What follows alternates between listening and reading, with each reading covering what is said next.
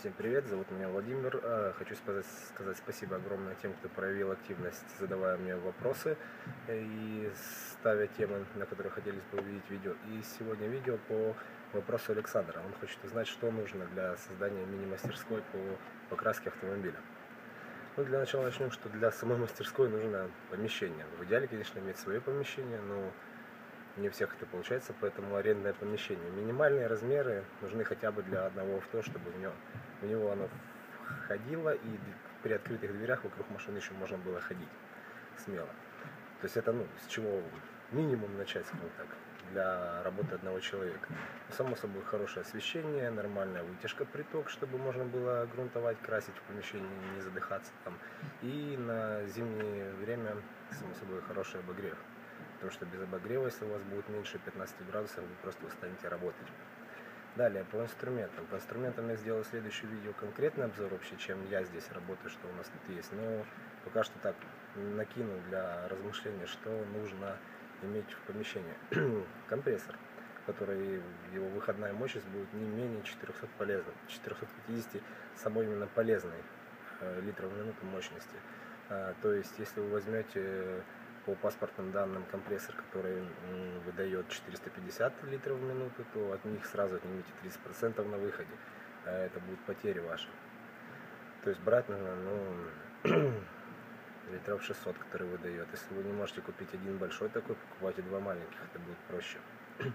Пистолеты нужны окрасочные, ну, окрасочный, грунтовочный, под жидкую шпатлевку, под гравитекс, да и все, собственно, для начала этого будет достаточно.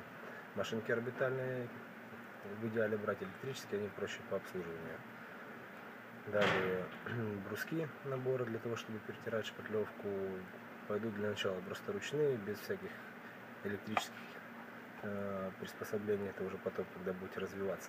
Набор инструмента, элементарный набор инструмента, ну хотя бы на 92-94 единицы для разборки автомобиля там двери, бампера, всякая такое мелочь, в котором обязательно будут звезды, потому что во всех новых автомобилях большая часть элементов крепится на звездах.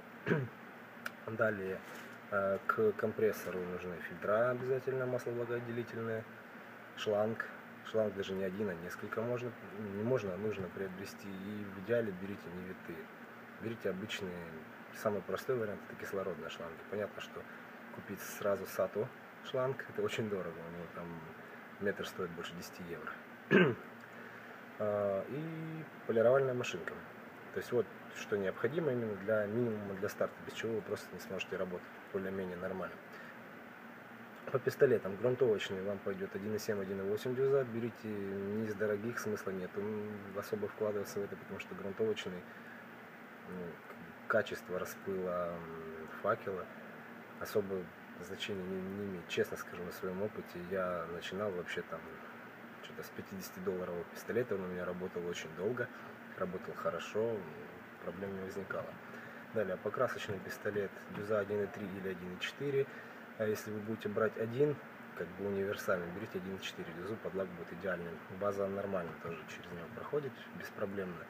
А в выборе пистолета это уже кому как нравится. Ну, возьмите HVLP для начала чтобы не особо париться с тем, как его настраивать, вам помогут любой рыночек абсолютно. Обдувочный пистолет для гравитекса пескоструйный. Все. Далее, по расходникам. Сразу нужно иметь запас хотя бы небольших расходов. Вот я покажу свой рабочий стол. Ну как свой, общий рабочий стол. Тут стоит запасы расходников. Ниже куча краски, это остатки на подложке. Ну там растворители, лаки и так далее. Вот, то есть вот такой запасик, без него, в принципе, вы устанете что-то делать. То есть элементарно вам нужный момент, как понадобится, да, баллончик под грунтовой, что-то у вас его просто нет в запасе, и ехать из-за него на рынок, ну это абсурдно. то есть э, расходники в запасе, это грунты в баллоне, грунт э, просто наполнитель банки с запасом, лак с, в идеале с запасом. Самый экономный вариант это брать пятилитровками, честно. Покупая 5 литров в розницу вы переплачиваете. То есть вы, когда вы берете 5 а, литров одной канистры, вы фактически покупаете 4 литра в разливе. То есть 1 литр у вас уже идет фактически бесплатно. ну, смотреть вам. Далее, наждаки в запасе это 80, 120, 180, 240, 320. Без них вы просто не работаете. Никак. Fine, Superfine, мокрые наждаки 600, 800, 1000, полторашка, 2000 и 3000. Последний можно брать в трезаке. Самый мелкий в трезаке, очень удобно на машинке на работе. Гравитекс, мастика, мовиль, шовный герметик, герметик для стекол. Э, неизвестно в какой момент вам что-то придется подклеивать. И праймер для них. Без праймера тоже не стоит экспериментировать. Ну, вот, собственно, самый минимум, с которого можно было бы начинать работать с хотя бы самыми простыми машинами. Ну да, маски, средства индивидуальной защиты, костюмы, перчатки обязательно для работы, растворители растворители в запасе тоже в большом.